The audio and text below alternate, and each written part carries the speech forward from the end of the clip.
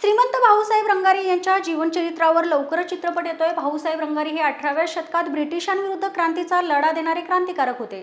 सार्वजनिक गणेशोत्सवाचे खरे जनक भाऊसाहेब रंगारे होते असा या क्रांतिकारकांचा लढा सर्वसामान्यांपासून असल्याने तो सर्वांना माहीत व्हावा या उद्देशाने त्यांच्या जीवनावर आधारित चित्रपट येतोय.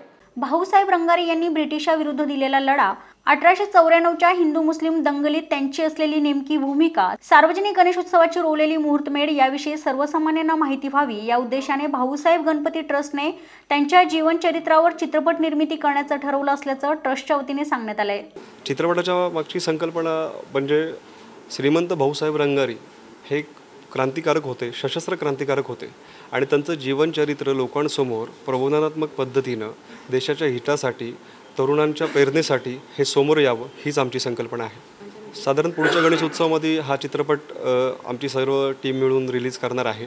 याचे लेखक आणि दिग्दर्शक गणेश कोपळकर असणार आहेत आणि हा चित्रपट पुढच्या गणेशोत्सवात प्रेक्षकांच्या भेटीस येणार आहे. गेल्या काही वर्षामध्ये जे काही संशोधन झालं जे काही नवीन डॉक्युमेंट्स हाती लागले आणि त्या डॉक्युमेंटच्या आधारांवरती भरपूर वादविवाद झाले. लोकांनी आपापल्या परीने वादविवाद रंगवले गेले.